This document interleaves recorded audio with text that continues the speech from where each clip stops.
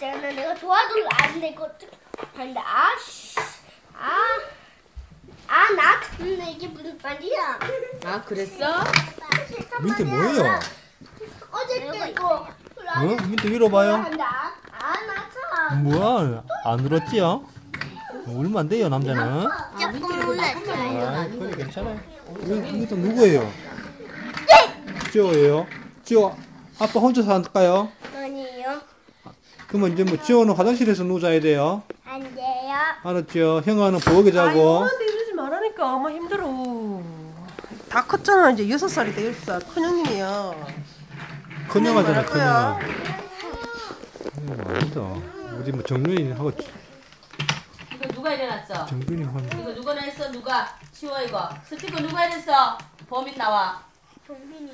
내가 아까 여기 식탁 위에 갖다 놨는데 그거 치러. 범인 나와. 정빈이.